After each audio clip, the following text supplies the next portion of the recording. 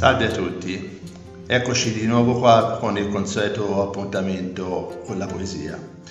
E oggi abbiamo una richiesta che ci è stata fatta da Cristina di Arezzo, che saluto, e ritorniamo di nuovo sulla Vistava Zimborska, come qualche giorno fa avevo già parlato di lei, è una eh, famosa poetessa polacca, premio Nobel per la letteratura del 1996 famosa in Polonia che sta diventando sempre più conosciuta e famosa per le, le sue liriche anche in Italia.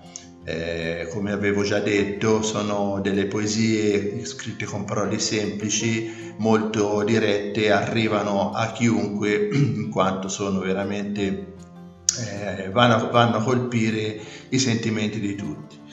Eh, questa poesia si intitola Nulla è il regalo. Nulla è il regalo, cosa ci dice la poesia? La poesia ci vuol dire che la vita non ti regala niente, tutto quello che prendi prima o poi un giorno lo dovrai dare e anche, anche i più fortunati comunque ne usciranno con l'anima malconcia l'unica cosa che non è nella lista delle cose che dovremmo restituire.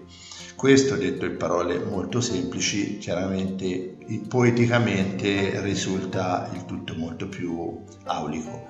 Eh, nulla è in regalo di eh, Vistava Zimborska. Nulla è in regalo, tutto è in prestito. Sono indebitata fino al collo. Sarò costretta a pagare per me con me stessa, a rendere la vita in cambio della vita.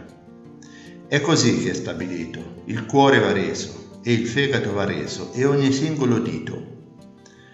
È troppo tardi per impugnare il contratto, quanto devo ne sarà tolto con la pelle. Me ne vado per il mondo tra una folla di altri debitori.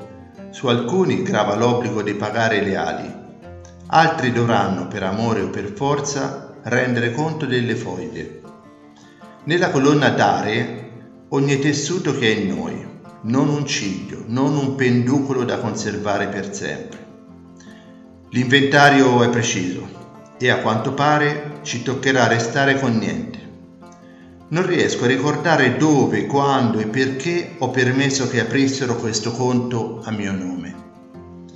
La protesta contro di esso la chiamiamo anima e questa è l'unica voce che manca nell'inventario.